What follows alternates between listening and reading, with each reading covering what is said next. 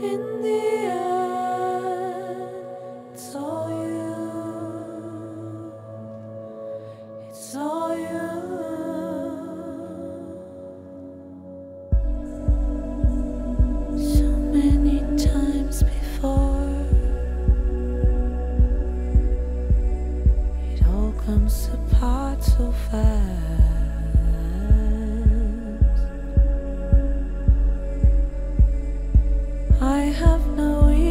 At all.